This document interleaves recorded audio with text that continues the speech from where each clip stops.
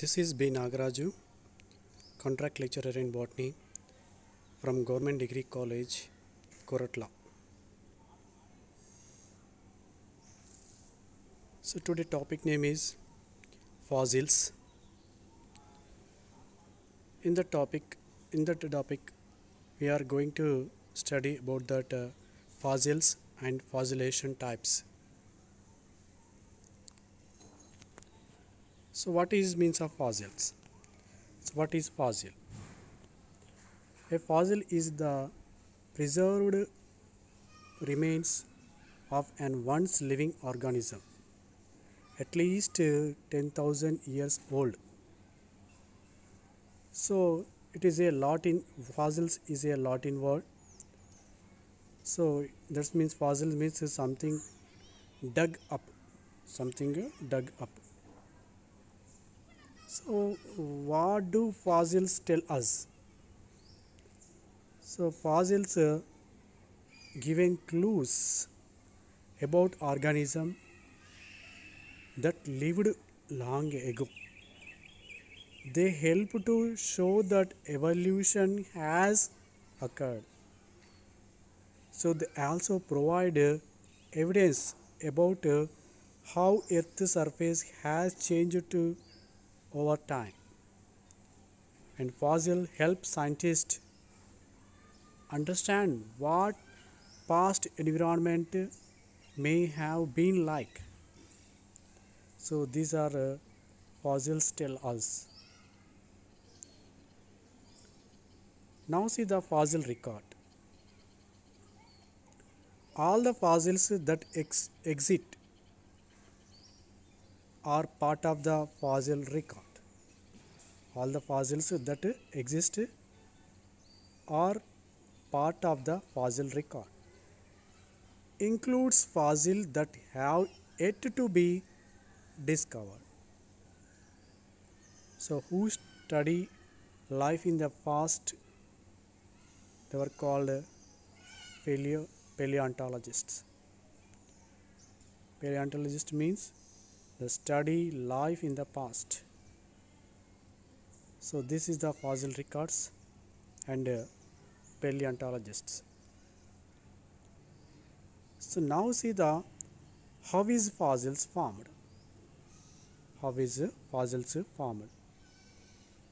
So there are the five top five types are there fossil formation. First one is the sediment.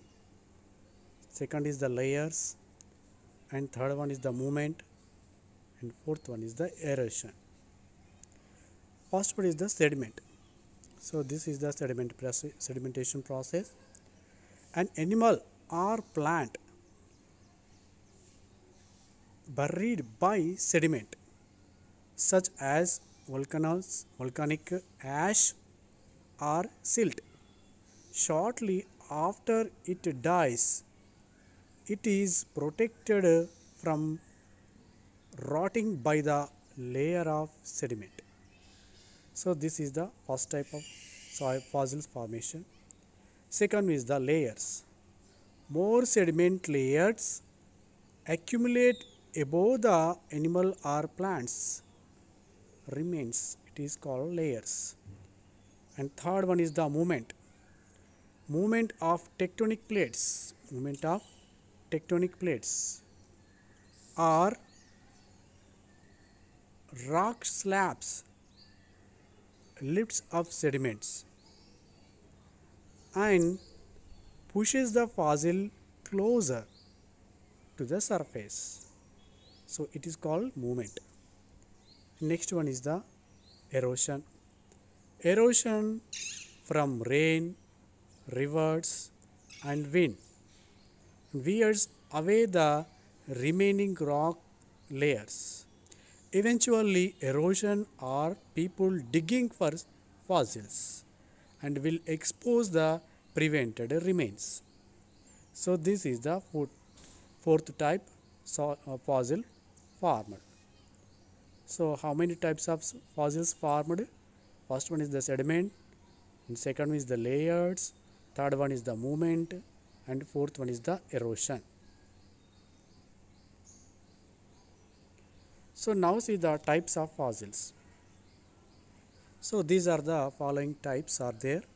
First one is the mold, cast, petrified or petrifaction or preserved and carbonized or carbonization and traces.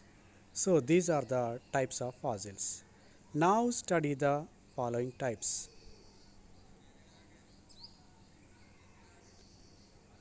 So these are the five main types of fossils. So this is the petrified fossil. So this is the mold and casts and this is the carbon or carbonation and this is the trace fossil and last one is the preserved remains. So these are the five main types of fossils. First one we see the petrified fossils. Forms when minerals soak into the buried remains, replacing the remains and changing them into rock.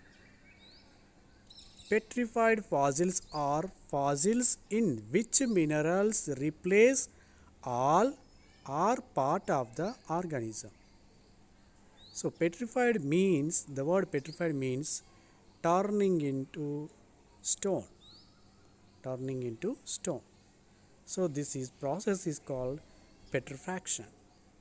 So now see the brief information about uh, petrified or petrifaction. So now see the uh, permineralization or petrifaction. Petrification, sorry, petrification. So premineralization or petrification means it is a process of fossilization in which mineral deposits from internal casts or organisms and premineralization is a process fossilization that occurs when an organism is buried. And empty spaces filled with mineral rich groundwater. And mineral precipitate mineral precipitate from the groundwater. And it's occupy the empty spaces and this process can occur in very small spaces. For uh, for premineralization organism must become converted sorry covered by sediment. The premineralization process very slow and water seeps through the sediment that over an organism and petrifaction as or petrification may result in, in uh, incredibly, incredibly detailed preservation. Petrification may result in incredibly detailed preservation. So this is the pre-mineralization or petrification.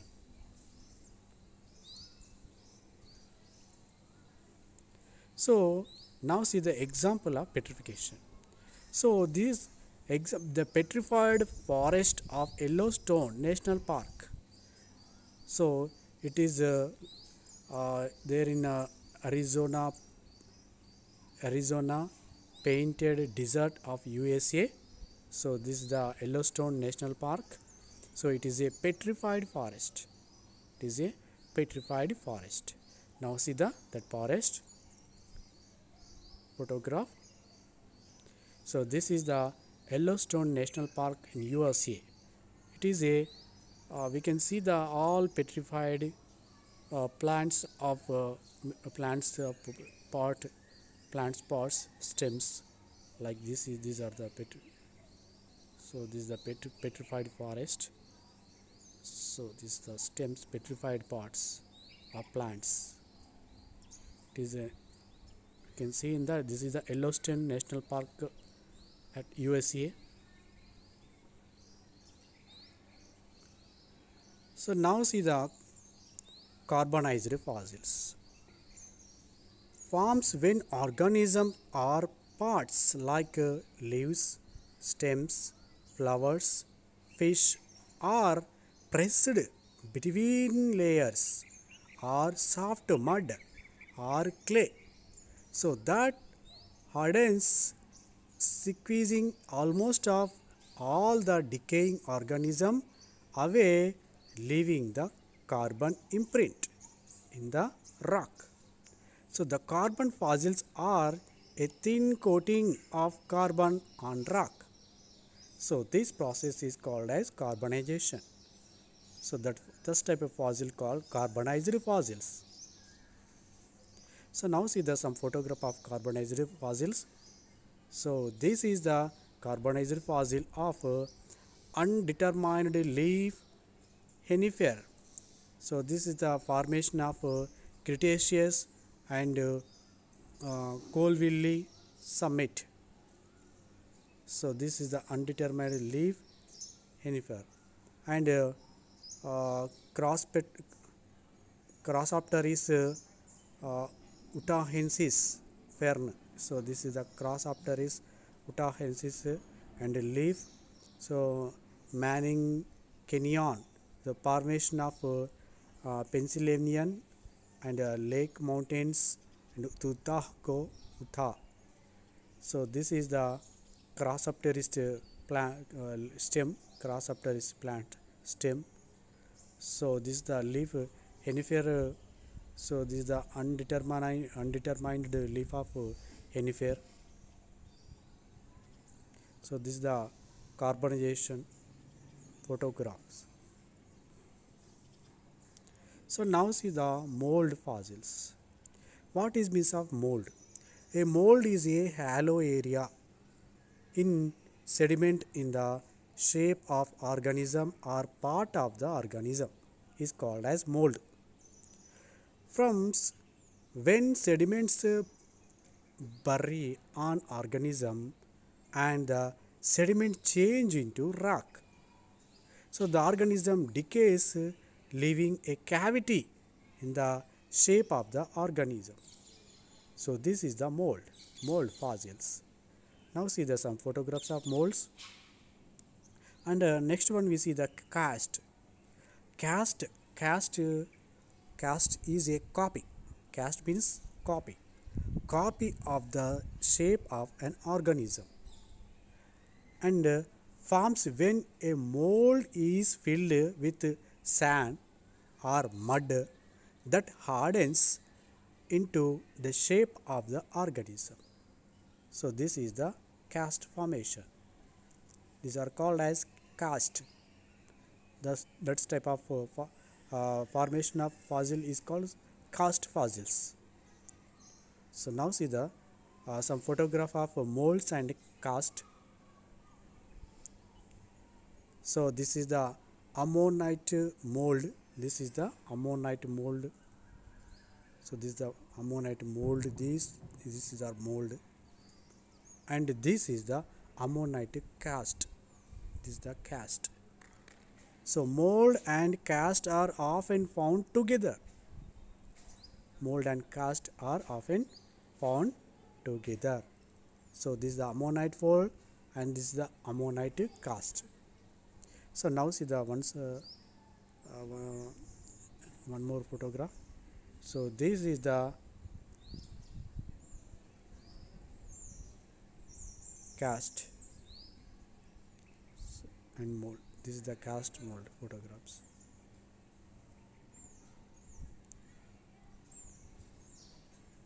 So once again we see the so this is the mold and this is the cast clear photograph of the dinosaur dinosaur foot mold and a cast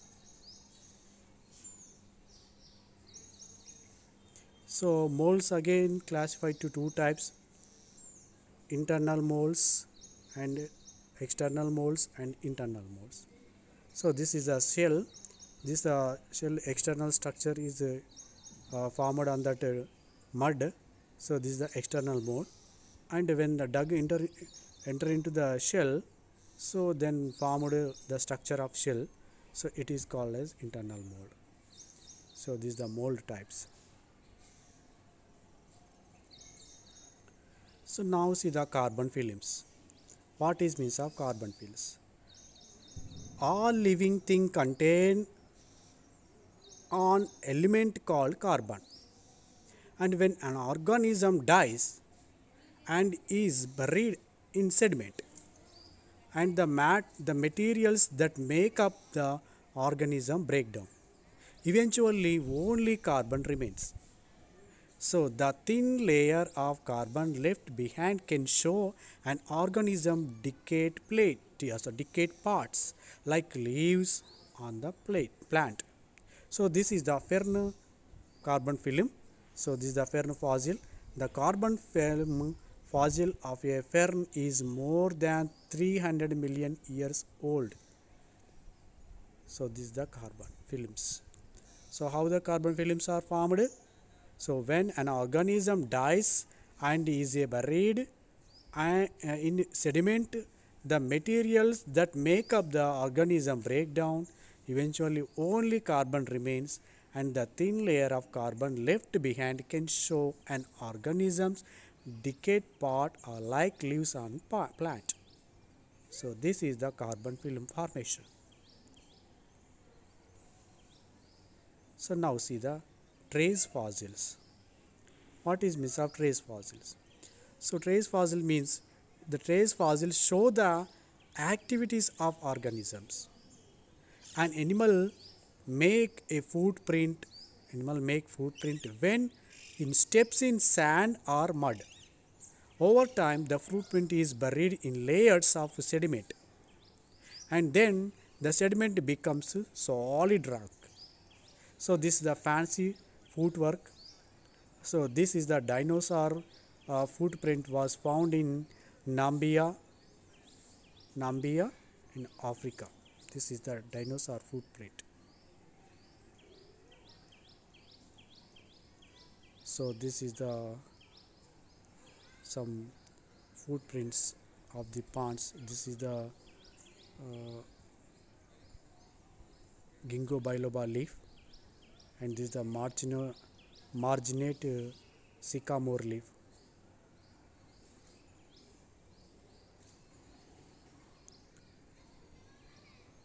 Now see the some preserved fossils. Preserved fossils forms when entire organism or part of the organisms are trapped in ice or tar or amber. So amber is a, a liquid component of some gymnosperms uh, resiniferous compound. So it is called as amber. It is extra extracted from gymnosperms plants of stems or some leaves. So and uh, this uh, and are preserved from decay. So these are the uh, preserved fossils formation is the ice, amber, tar. So now see the preserved forms.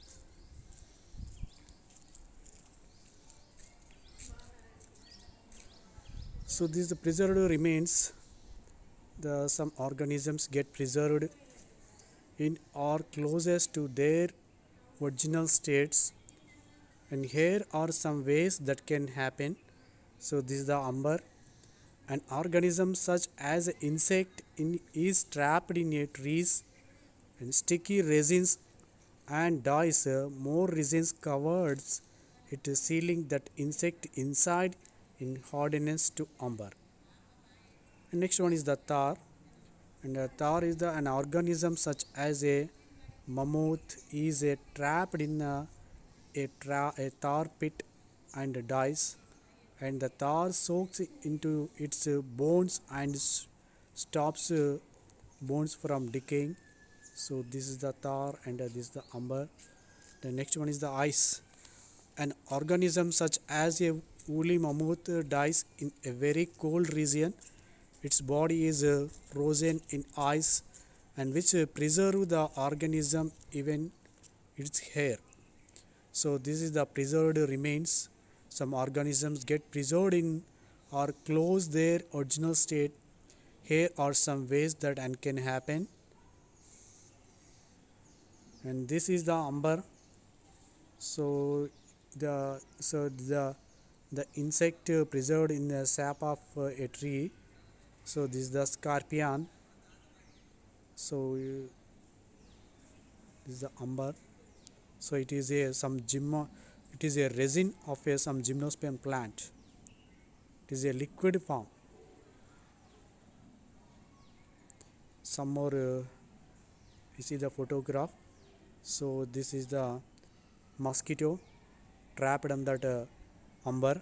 So these are the some flies.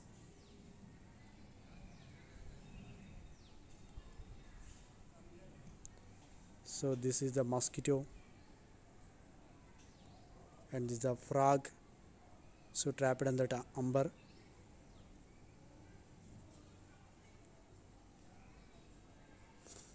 Now see the tar so animals fall into the tar pits are buried like uh, a saber toothed cast and uh, mammoths.